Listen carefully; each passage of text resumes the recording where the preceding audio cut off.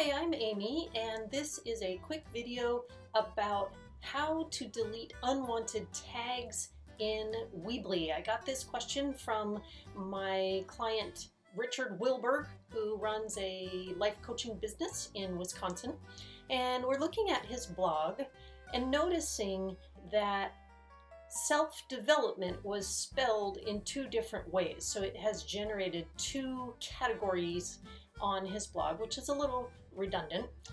To uh, remove the unwanted tag, which is the second one with the hyphen, we're going to go into his site and remove that unwanted tag from the post that it's attached to.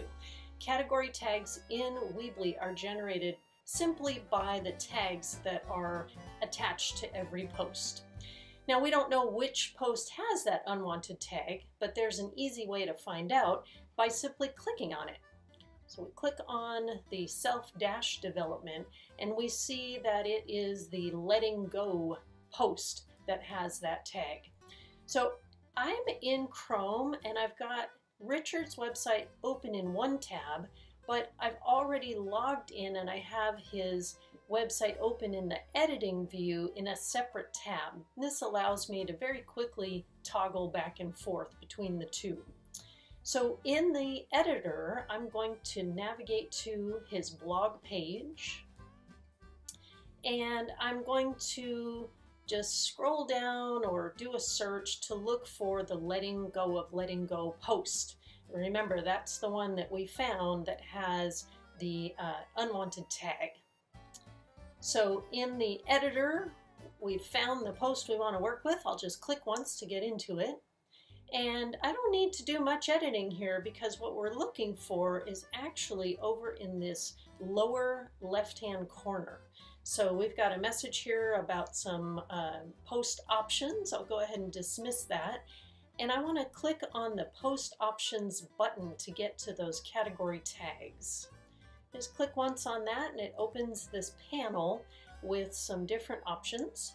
And here under categories, we see self-development as a tag and we can delete it by clicking the little X in the right hand corner. So I'm going to click that X.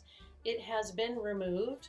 I can close the post options panel and now I just want to make sure that I update this post. I've made a change to it and I want to click update to make sure that change is saved. So we click update and we get our friendly post published dialog box. Now in editing posts, I've noticed that sometimes you have to also click publish to republish the site once you've made a change. I'm not sure when that's needed. It seems to be sometimes and not others, but let's just go ahead and click publish to make sure. All right, looks good. I'm gonna dismiss this dialog box and I'm just gonna go to my tab up at the top of the browser to click on the public side of the website. In this case, we're not, we don't see these tags. So to see our change, I'm gonna click on blog to go back to the main blog page. And now I'm going to click refresh or reload on the browser. This varies a little depending on what browser you're using, but every browser has this feature where you can reload a page.